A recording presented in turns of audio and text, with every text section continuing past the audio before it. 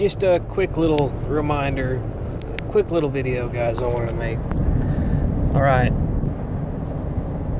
When sharing the gospel with somebody, you need to make it clear if you even utter the word repentance or repent, okay? You don't tell somebody, turn away from your sin, okay?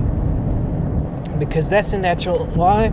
Why? Because that's a natural inclination of when you receive the Holy Spirit. The Holy Spirit, and a, a Christian doesn't need to be told uh, that's wrong. Okay. Well, maybe there's some circumstances, maybe some stubborn Christians are dabbling in something that is highly wicked, and they're saying it's okay. All right, I could understand something like that. Somebody that's being stubborn and rebellious, but but we that have the Holy Spirit, we have the Spirit of God inside of us. We know, okay? We know what's right, what's wrong. We we don't have to be told you shouldn't be doing this, you shouldn't be doing that, okay?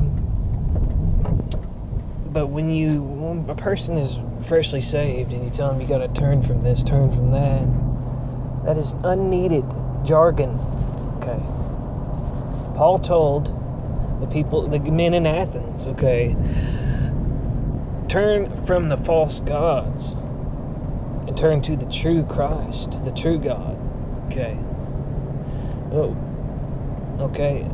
Put your faith in Christ alone, not those other gods too. That's what he was saying, okay?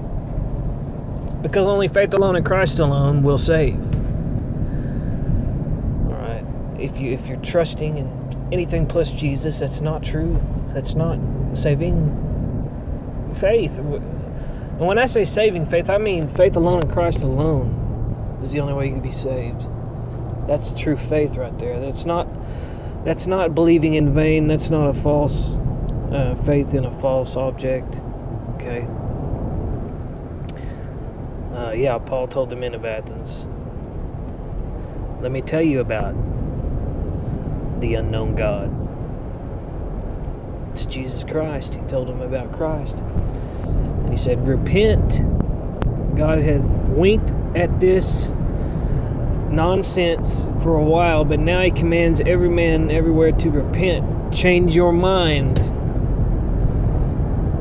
about what you believe, about who you trust.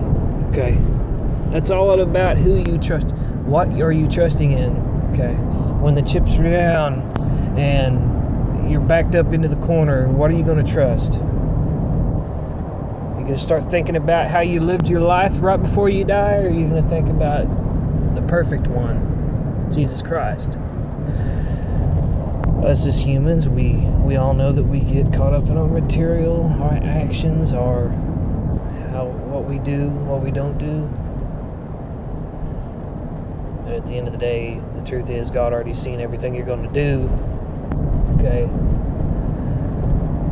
We, you know, it catches us by surprise because we don't know the future. God knows the future. You know, so when you do something crazy, oh man, I can't believe I did that, man. You better believe it because God already knew you were going to do that. and He already made. Uh, he already made a plan. He already had a plan. Precautions in Jesus Christ. But repent. Getting back on the repent thing. It's the Holy Spirit's job. Once we receive that new heart, okay, it's part of the new creation we are.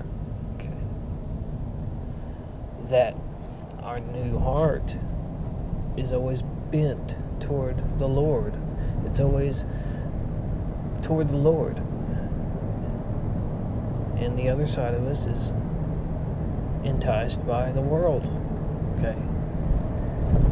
Our new heart can't be enticed by the world. I don't care what anybody tells because I'm I'm telling you what there ain't there's no amount of worldly lust, greed, whatever that can change or turn your born again new heart away from the Lord. You have a heart that is is is in tune with God. Okay? It's one with God. That cannot get any satisfaction from anywhere else in this world or in the next world to come or any anywhere else but the Lord. He, he made you that way. Once you trusted Him. And then you love Him. Because you sin doesn't mean you don't love God. Yes, Jesus said in the Bible, if you love me, keep my commandments. But let's you can delve deeper into that. Who keeps the commandments 100% perfectly? Nobody. So then by default you could say, well, I mean, I guess nobody really loves Jesus. Well, with your born again heart, you love the Lord. Okay, it's kind of like Paul said, with the flesh I serve the law of sin, but with the new man, I, you know, the born again side of me, I love the Lord with all my heart. But the other part of me, it's bent towards other ways. But God bless everybody. I'm going to have to stop this video coming home from work. I will uh, try to make a few more videos pretty soon. God bless everybody.